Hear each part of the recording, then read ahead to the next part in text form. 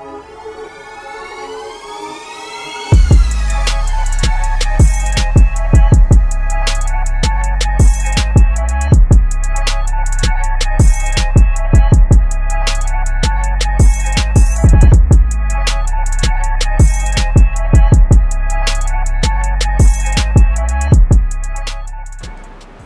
പ്രസന്നകുമാരി വനിതാ ശിശു വികസന ഓഫീസറാണ്. നമുക്കറിയാം ഇന്ന് നമ്മൾ ഏറ്റവും കൂടുതൽ ചർച്ച ചെയ്യുന്ന ഒരു വിഷയം എന്ന് പറയുന്ന വിസ്മയ കേസാണ്. അപ്പോൾ അത് തന്നെ നമുക്കറിയാം ഏറ്റവും സ്ത്രീധന പീഡനത്തിനും അതേപോലെ തന്നെ ഗാർഹിക പീഡനമൊക്കെ ഇത്രയും വളരെ മോശമായ രീതിയിൽ അനുഭവിച്ച ഒരു പെൺകുട്ടിയായിരുന്നു വിസ്മയ. അപ്പോൾ ആ കേസിന്റെ ബേസിൽ തന്നെ നമുക്ക് പറയാൻ പറ്റുന്നത് നമുക്കറിയാം ഒരു സ്ത്രീയെ സംബന്ധിച്ചിടത്തോളം ഈ അതിക്രമങ്ങളൊക്കെ പല സ്ത്രീകൾക്കും ഒരുപാട് അതിക്രമങ്ങൾ അതായത് കൊലപാതകങ്ങളായാലും സ്ത്രീകളുടെ ആത്മഹത്യകളായാലും ഒക്കെ കൂടിക്കൊണ്ടിരിക്കുകയാണ്.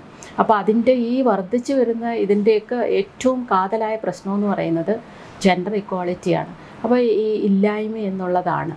അതായത് സ്ത്രീ പുരുഷ അസമത്വം നിലനിൽക്കുന്നിടത്തോളം നമ്മുടെ സമൂഹം രക്ഷപ്പെടത്തില്ല. അപ്പോൾ ഈ അസമത്വം ഇല്ലാതായി കഴിഞ്ഞാൽ അപ്പോൾ സ്ത്രീക്കും പുരുഷനും തുല്യമായ അവകാശങ്ങളും അതേപോലെ തന്നെ അവർക്ക് തുല്യമായ അവസരങ്ങളും കിട്ടുവാണെങ്കിൽ അത് ആസ്വദിക്കാനുള്ള ഒരു കഴിവ് അവർക്ക് ഉണ്ടാവുകയാണെങ്കിൽ തീർച്ചയായിട്ടും ഇത്തരത്തിലുള്ള അതിക്രമങ്ങളെ നമുക്ക് പാടെ ഇല്ലാതാക്കാനായിട്ട് സാധിക്കും. അതിൽ ഏറ്റവും പ്രധാനമായ കാര്യം എന്ന് പറഞ്ഞാൽ നമ്മുടെ ഭരണഘടനയിൽ തന്നെ ഒരു ഇന്ത്യൻ പൗരൻ എന്ന നിലയിൽ ആണായാലും പെണ്ണായാലും ഭരണഘടന നമുക്ക് തുല്യതയും സമത്വവും ഒക്കെ വിഭാവന ചെയ്യുന്നുണ്ട്. അത് നമ്മൾ ഇന്നും നേടിയെടുത്തിട്ടില്ല എന്നുള്ളതാണ് ഈ അതിക്രമങ്ങളുടെ എല്ലാം കാതലായ പ്രശ്നമെന്ന് പറയുന്നത്. അപ്പോൾ അതിന് വേണ്ടിയിട്ട് പുതിയ പുതിയ നിയമങ്ങൾ സ്ത്രീകൾക്ക് വേണ്ടിയിട്ടാണ് കൊണ്ടുവരുന്നത്. കാരണം എന്ന് വെച്ചാൽ അവിടെ അസമത്വം വരുമ്പോൾ അവിടെ സ്ത്രീകളാണ് ദുരിതം അനുഭവിക്കുന്നത് അനുഭവിച്ചുകൊണ്ടിരിക്കുന്നത് സ്ത്രീകളെയാണ് വേർതിരിച്ച് കാണുന്നത്. അതുകൊണ്ടാണ് നമ്മൾ ഇത്തരത്തിലുള്ള അസമത്വങ്ങൾ അനുഭവിക്കുന്നത് ഈ കുട്ടി ഇവരെല്ലാം തന്നെ ഈ ദുരിതത്തിലേക്ക് അകപ്പെടുന്നത്. അപ്പം അതിന് ഏറ്റവും ആദ്യം വേണ്ടതെന്ന് പറയുന്നത് നമുക്ക് ഈ തുല്യത വളരെയധികം കൊണ്ടുവരേണ്ടിയിരിക്കുന്നു. അതോടൊപ്പം തന്നെ നമുക്കറിയാം ഇന്ന് സ്ത്രീകൾക്ക് അവരുടെ പ്രശ്നങ്ങൾ അവർക്കുണ്ടാകുന്ന ദുരിതത്തിനും അതേപോലെ അതിക്രമത്തിനും എതിരെയൊക്കെ പരാതിപ്പെടാൻ അവരെവിടെയൊക്കെ പരാതിപ്പെടാം അവർക്ക് എന്തൊക്കെയാണ് നിയമങ്ങൾ അവർക്ക് അനുകൂലമായിട്ടുള്ളതെന്നൊക്കെ ഉള്ള ഒരു അവയർനെസ് അവർക്ക് കിട്ടിയേ പറ്റുള്ളൂ. വ്യക്തമായിട്ട് നിയമ അവബോധം കിട്ടാത്തതും ഇവരുടെ ഈ പ്രശ്നങ്ങൾ കൂടിക്കൂടി വരുന്നുണ്ട്. അപ്പോൾ ഓരോ സ്ത്രീയും അറിയേണ്ടത് ഒരു ഗൃഹാന്തരീക്ഷത്തിൽ കഴിയുന്ന ഒരു സ്ത്രീയെ സംബന്ധിച്ചിടത്തോളം ഗാർഹിക ബന്ധുത്വമുള്ള ഒരു സ്ത്രീയെ സംബന്ധിച്ചിടത്തോളം ഏറ്റവും കൂടുതൽ വീടുകളിലാണ് പീഡനം അനുഭവിക്കുന്ന സ്ത്രീകളുള്ളത്. അപ്പോൾ അതിന് അവർക്ക് എന്തൊക്കെ അവർക്ക് നിയമസഹായങ്ങളുണ്ട് എന്തെല്ലാം സേവനങ്ങളുണ്ട് അതിനെന്തെല്ലാം പരിഹാരങ്ങളുണ്ട് എന്നുള്ള കാര്യം അവർ വ്യക്തമായിട്ട് അറിയണം. നമുക്കറിയാം ഗാർഹിക അതിക്രമങ്ങളിൽ നിന്നും സ്ത്രീകളെ സംരക്ഷിക്കുന്ന നിയമം രണ്ടായിരത്തി അഞ്ച് അതായത് ഡൊമസ്റ്റിക് വയലൻസ് ആക്ട് നിലവിൽ വന്നപ്പം അതിനകത്ത് പറയുന്നുണ്ട് ആരാണ് ആ ആ- നിയമപ്രകാരം ആർക്കൊക്കെ പരാതി കൊടുക്കുക എന്നുള്ളതാണ്. അതിൽ പരാതിപ്പെടുന്നത് സ്ത്രീകളാണ്. സ്ത്രീകൾക്ക് മാത്രമേ പരാതിപ്പെടാൻ കഴിയുള്ളൂ. അത് ഒരു കൂരയ്ക്ക് കഴി കീഴിൽ കഴിയുന്ന സ്ത്രീകളോ അതേപോലെ തന്നെ ഒരു കുടുംബത്തിൽ കഴിയുന്ന മറ്റ് വ്യക്തികൾക്കെതിരെ അവിടെയുള്ള സ്ത്രീകൾക്കുമാണ് പരാതിപ്പെടാൻ കഴിയുന്നത്. അത് അവിടുത്തെ അത് ആ വീട്ടിൽ കഴിയുന്ന ഭാര്യയാവാം വിധവയാവാം അല്ലെങ്കിൽ മക്കൾക്കെതിരെ അമ്മയാകാം അല്ല അല്ലെന്നുണ്ടെങ്കിൽ ദത്തെടുത്ത് ഏതെങ്കിലും കുട്ടികൾക്ക് വേണമെങ്കിൽ പരാതിപ്പെടാം. ലിവിങ് ടുഗദറായിട്ട് ഒന്നിച്ചു കഴിയുന്ന ഒരു സ്ത്രീക്ക് വേണമെങ്കിലും പരാതി കൊടുക്കാം. അപ്പോൾ ഇത്തരത്തിൽ പരാതി കൊടുക്കുമ്പോൾ ഈ പരാതി അവർ ഏതെല്ലാം തരത്തിലുള്ള പരാതികൾ അവർക്ക് കൊടുക്കാം എന്നുള്ളതാണ്. ഇപ്പം നമുക്കറിയാം സ്ത്രീകൾ ആ വീട്ടിൽ ശാരീരികമായിട്ട് അവർ ഉപദ്രവിക്കപ്പെടുമ്പോൾ ശാരീരിക ആക്രമണം ഉണ്ടാകുമ്പോൾ അതായത് അവരെ കൊല്ലുകയോ അല്ലെങ്കിൽ വെട്ടി അംഗഭംഗം വരുത്തുകയോ മറ്റേതെങ്കിലും തരത്തിൽ ശാരീരികമായി ഉപദ്രവിച്ചാൽ. ഉദാഹരണം എന്ന് പറഞ്ഞാൽ അടി വെട്ട് ചവിട്ട് കടി കുത്ത് ഇങ്ങനെയുള്ള ഉപദ്രവങ്ങൾ ഉണ്ടായി കഴിഞ്ഞാൽ ഈ നിയമപ്രകാരം ഏതൊരു സ്ത്രീക്കും ആ കുടുംബത്തിലെ ഏതൊരു സ്ത്രീക്കും പരാതിപ്പെടാം.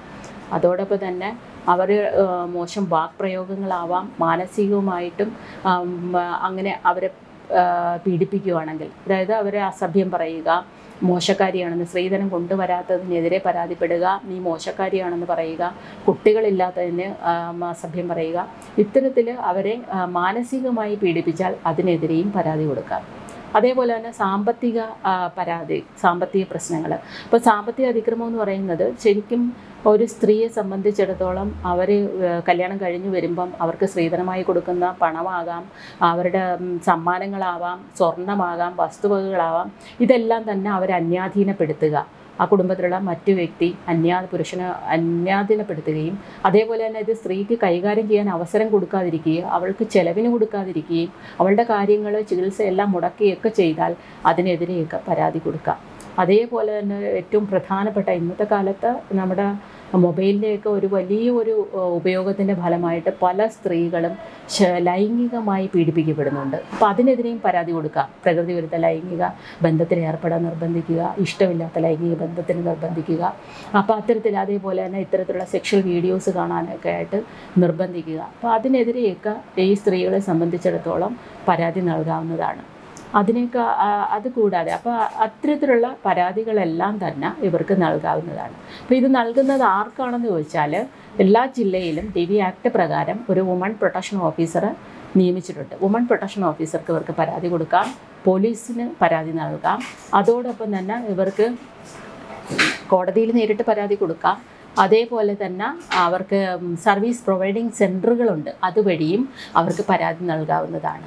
അപ്പോൾ ഇത്തരത്തിലുള്ള ഒരു പരാതി കിട്ടിയാൽ ഇത് കോടതിയിൽ നിന്ന് കിട്ടുന്ന അവർക്ക് അനുകൂലമായി കിട്ടുന്ന നടപടിക്രമങ്ങൾ എന്ന് പറയുന്നത് ഒന്ന് അവർക്ക് പ്രൊട്ടക്ഷൻ ഓർഡർ കിട്ടും.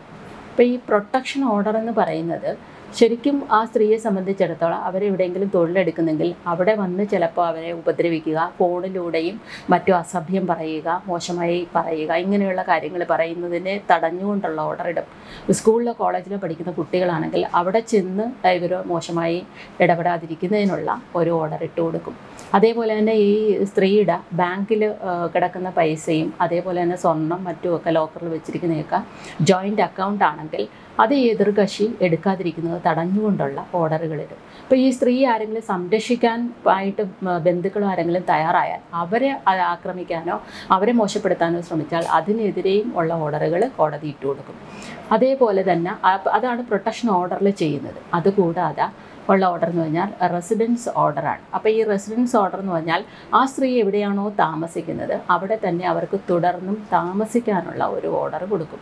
അതോടൊപ്പം അഥവാ അവ ആ വീട്ടിൽ അവർക്ക് താമസിക്കാൻ താല്പര്യമില്ല എങ്കിൽ അവർക്ക് മറ്റൊരു വീട് എടുത്തു കൊടുക്കാൻ വേണ്ടിയിട്ടുള്ള ഒരു ഓർഡർ ഇട്ട് കൊടുക്കും. അല്ലെങ്കിൽ ഈ സ്ത്രീ സ്വന്തമായിട്ട് വാടക വീട് എടുത്തു കഴിഞ്ഞാൽ അവർക്ക് അവിടെ വാടക കൊടുക്കുന്നതിന് വേണ്ടിയിട്ടുള്ള ഓർഡർ അങ്ങനെ റെസിഡൻസ് ഓർഡർ കൊടുക്കും. അതുകൂടാതെ ഇവർക്ക് സാമ്പത്തിക നടപടിക്രമങ്ങൾ ചെയ്തു കൊടുക്കും. അപ്പോൾ സാമ്പത്തിക ഓർഡർ എന്ന് പറയുന്നത് ശരിക്കും അവർക്ക് ഒരു മാസ ചെലവിനുള്ള കാര്യങ്ങൾ അവരുടെ ചികിത്സ വസ്ത്രം മരുന്ന് ഇങ്ങനെയുള്ള കാര്യങ്ങൾക്കൊക്കെ ഉള്ള പണം നൽകാനുള്ള ഓർഡർ ഇട്ട് കൊടുക്കും. കുട്ടികളുണ്ടെങ്കിൽ അവരുടെ പഠനം ബുക്ക് മറ്റു കാര്യങ്ങൾ ഫീസ് എല്ലാം നൽകുന്നതിനുള്ള ഓർഡറും ഇതിൽ കൊടുക്കുന്നുണ്ട്. അപ്പോൾ ഇത്തരത്തിലുള്ള ഓർഡറുകളാണ് സമാശ്വാസത്തിനുള്ള മറ്റു ഓർഡറുകളും ഒക്കെ ഇട്ട് കൊടുക്കുന്നുണ്ട്. അപ്പോൾ ഇത്തരത്തിലുള്ള ഓർഡറുകളാണ് ശരിക്കും അതേപോലെ കസ്റ്റഡി ഓർഡർ ഉണ്ട് ഇപ്പോൾ കുട്ടികളുണ്ടെങ്കിൽ ചിലപ്പോൾ ഈ കുട്ടികളെ ഈ സ്ത്രീക്ക് കസ്റ്റഡിയിൽ വെക്കുന്നതിനുള്ള ഓർഡർ കൊടുക്കും. അതേപോലെ തന്നെ അല്ലെ അവർ അവരുടെ ബന്ധുക്കളെ ആരെങ്കിലും സുരക്ഷിതത്വത്തിൽ വളരുന്നതിന് വേണ്ടിയിട്ടുള്ള കസ്റ്റഡി ഓർഡറുകൾ കോടതി ഇട്ട് കൊടുക്കാറുണ്ട്. അപ്പോൾ ഇത്തരം ഓർഡറുകളൊക്കെ സ്ത്രീകൾക്ക് കിട്ടുന്നു. അതേപോലെ തന്നെ ഇത്തരത്തിൽ ദുരിതം അനുഭവിക്കുന്ന ഒരു സ്ത്രീ ഒരു കുടുംബത്തിലുണ്ടെങ്കിൽ അവരെ സംബന്ധിച്ചിടത്തോളം അവരത് സഹിച്ച വീട്ടിൽ നിൽക്കേണ്ട. അവരുടെ സ്വന്തം വീട്ടിലേക്ക് അവർക്ക് പോകാൻ കഴിയില്ല ചിലപ്പോൾ അവിടെയും അവർക്ക് ബുദ്ധിമുട്ട് തോന്നുന്നുണ്ട്. ഭർത്താവിന്റെ വീട്ടിലും പറ്റുന്നില്ല. ഇത് എവിടെ പോയി പരാതിപ്പെടണം എന്ന് അറിയത്തില്ല എന്നുണ്ടെങ്കിൽ വളരെ പെട്ടെന്ന് നമ്മുടെ എല്ലാ ജില്ലകളിലും വൺ സ്റ്റോപ്പ് സെന്ററുകൾ സഖി വൺ സ്റ്റോപ്പ് സെന്ററുകൾ പ്രവർത്തിക്കുന്നുണ്ട്. അവിടെ ഇവർക്ക് എല്ലാ സഹായങ്ങളും അതായത് അവർക്ക് അവിടെ നിയമസഹായം കിട്ടും ചികിത്സ കിട്ടും അവരൊരു ഉപദ്രവമായിട്ട് ബന്ധപ്പെട്ട് ആക്രമണവുമായിട്ട് ബന്ധപ്പെട്ട് എന്തെങ്കിലും മുറിവായിട്ട് വന്നു കഴിഞ്ഞാൽ അവർക്ക് അവിടെ ചികിത്സ നൽകും. അല്ലെങ്കിൽ ഉടൻ തന്നെ അവർക്ക് പോലീസ് എയ്ഡ് അവിടെ കൊടുക്കും. അഡ്വക്കേറ്റിന്റെ സേവനം നൽകും കൗൺസിലിംഗ് നൽകും. അതേപോലെ തന്നെ അവർക്ക് ഷെൽട്ടറും കൊടുക്കും.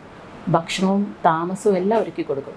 എന്നിട്ട് അവരുടെ കേസ് നടത്തി അവർക്കൊരു തീർപ്പായതിനു ശേഷം മാത്രം അവർക്ക് മറ്റെവിടേക്കെങ്കിലും മാറിയാൽ മതി. അപ്പോൾ അത്തരത്തിലേക്കുള്ള വൺ സ്റ്റോപ്പ് സെന്ററുകൾ എല്ലാ ജില്ലയിലും ഉണ്ട്. അപ്പോൾ ഒരിക്കലും ഒരു സ്ത്രീ ഒരു പീഡനം അനുഭവിച്ചൊരു വീട്ടിൽ നിൽക്കേണ്ടി വരുന്നില്ല. അപ്പോഴും തന്നെ അവർക്ക് ഈ ഒ എ സി ആയിട്ട് ബന്ധപ്പെടാം അവിടെ വരാം അല്ലെങ്കിൽ പ്രൊട്ടക്ഷൻ ഓഫീസറുമായിട്ട് ബന്ധപ്പെടാം.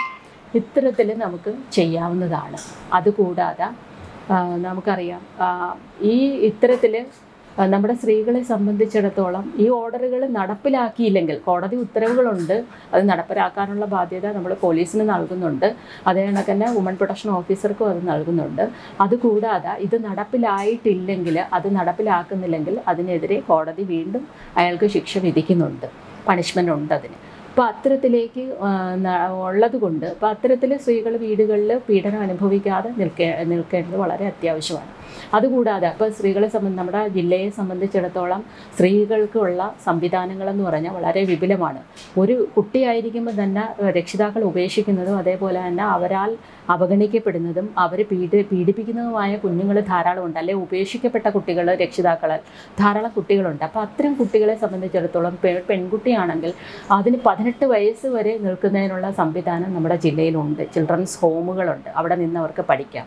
അതിനുശേഷം സുരക്ഷിതമായി നിന്ന് പഠിക്കുക അതിനുശേഷം പതിനെട്ടിന് ശേഷം ആഫ്റ്റർ കെയർ ഹോമുണ്ട് ഗവൺമെന്റിന്റെ തന്നെയാണ് ആഫ്റ്റർ കെയർ ഹോമിൽ ഇരുപത്തൊന്ന് വയസ്സ് വരെ നിൽക്കാം.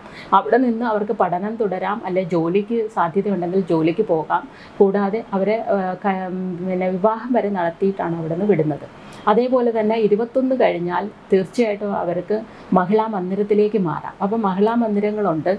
അപ്പോൾ എല്ലാ ജില്ലയിലും ഉണ്ട് കൊല്ലം ജില്ലയിലും ഉണ്ട്. അപ്പോൾ മഹിളാ മന്ദിരം കഴിഞ്ഞാൽ അവർക്ക് അറുപത് വയസ്സ് കഴിഞ്ഞാൽ തീർച്ചയായിട്ടും വൃദ്ധ വൃദ്ധസദനങ്ങളുണ്ട് അതും ഗവൺമെന്റിന്റെയാണ് അപ്പോൾ ഈ അവർക്ക് ആജീവനാന്തം ശരിക്കും കഴിയുന്നതിനുള്ളൊരു സംവിധാനം എല്ലാ സ്ത്രീകൾക്കും നമ്മുടെ ജില്ലയിലുണ്ട്. സ്ത്രീ പുരുഷ ബന്ധം എന്ന് പറയുന്നത് സ്ത്രീകളും വിവാഹം കഴിഞ്ഞു കഴിഞ്ഞാൽ വേർപിരിയൽ എന്ന് പറയുന്നത് ഒരു അടുത്ത നടപടിക്രമമായിട്ട് വന്നിട്ടുണ്ട്. പലപ്പോഴും അതാണ് കണ്ടുവരുന്നത്. പിന്നെ അവർക്ക് വേണ്ടിയിട്ട് ഫാമിലി കൗൺസിലിംഗ് സെന്ററുകൾ ഉണ്ട്. ഗവൺമെന്റിന്റെ തന്നെ ഗ്രാൻഡോടുകൂടി പ്രവർത്തിക്കുന്ന ഫാമിലി കൗൺസിലിംഗ് സെന്ററുകളുണ്ട് അവർക്ക് അത്തരം സംവിധാനങ്ങൾ കൊടുത്ത് അവരെ യോജിപ്പിക്കാനുള്ള ഒരു നടപടികൾ. കാരണം കുട്ടികളൊക്കെ ആയിക്കഴിഞ്ഞാൽ അവർക്ക് അവരുടെ അച്ഛനമ്മമാരാൽ തന്നെ സംരക്ഷിക്കപ്പെടണം എന്നുള്ളതാണ്. അതുകൊണ്ടാണ് പലപ്പോഴും നമ്മുടെ കുഞ്ഞുങ്ങൾ വഴിതെറ്റി പോകുന്നത്. അപ്പം അത്തരത്തിലേക്ക് അത്തരം സംവിധാനങ്ങളുണ്ട്. അതേപോലെ തന്നെ ആരോഗ്യവകുപ്പിലായാലും കുടുംബശ്രീയിലായാലും മറ്റ് എൻ ജി ഒസിന്റെയൊക്കെ ആയാലും ധാരാളം സംവിധാനങ്ങൾ അവർക്ക് കൗൺസിലിംഗ് സ്ത്രീകൾക്ക് കൗൺസിലിംഗ് നൽകുന്നതിനും ഷെൽട്ടർ നൽകുന്നതിനും ഒക്കെ ആയിട്ട് ധാരാളം സംവിധാനങ്ങൾ ഇന്ന് നിലവിലുണ്ട്. ഒരുപാട് ഷെൽട്ടർ ഹോമുകൾ നമ്മുടെ ജില്ലയിലുണ്ട്. അപ്പോൾ അതുകൊണ്ട് ഒരിക്കലും സ്ത്രീകൾ അങ്ങനെ നിൽക്കാൻ പാടില്ല. സ്ത്രീ എന്ന് പറഞ്ഞാൽ ഇന്ന് നമ്മൾ പറയുന്ന സ്ത്രീധനം എന്ന് പറയുന്ന ഒരിക്കലും നമ്മൾ പെൺകുട്ടികൾക്ക് നൽകാൻ പാടില്ല. അവർക്ക് കൊടുക്കേണ്ട ധനം എന്ന് പറയുന്നത് വിദ്യാഭ്യാസമാണ്. അപ്പോൾ ഓരോ സ്ത്രീയും വിദ്യാഭ്യാസം ചെയ്ത് സ്വന്തം കാലിൽ നിന്ന് ഒരു ജോലിക്കാരിയായി സ്വന്തം കാലിൽ നിൽക്കാൻ കഴിവുണ്ടായാൽ മാത്രം വിവാഹം കഴിക്കുക എന്നുള്ളൊരു ദൃഢപ്രതിജ്ഞ എടുക്കുക. നമ്മുടെ അച്ഛനമ്മമാരും അത് തന്നെ തീരുമാനിക്കുക. അവർക്കൊന്നും ഞങ്ങളായി സമ്പാദിച്ചു കൊടുക്കരുത്. വിദേശ രാജ്യങ്ങളിലൊക്കെ അങ്ങനെയാണ്. അവരൊന്നും സമ്പാദിച്ചു കൊടുക്കത്തില്ല. അവർ വിവാഹശേഷം അവർക്ക് ആവശ്യമുള്ളത് അവർ സ്വന്തമായി ജോലി ചെയ്ത് ഉണ്ടാക്കണം. നമ്മളുടെ ഈ സമ്പാദ്യമാണല്ലോ ഏറ്റവും വലിയ പ്രശ്നം എന്ന് പറയുന്നത്. സമ്പാദിക്കാതെ അന്നന്ന് കഴിയുന്നതിന് നമുക്ക് ലാവശ്യമായിട്ട് നമ്മൾ ജോലി എടുത്ത് കഴിയുവാണെങ്കിൽ നമുക്ക് സന്തോഷമായി ജീവിക്കാം. അങ്ങനെ ഒരു ജീവിത രീതിയും കൂടെ വരേണ്ടിയിരിക്കുന്നു.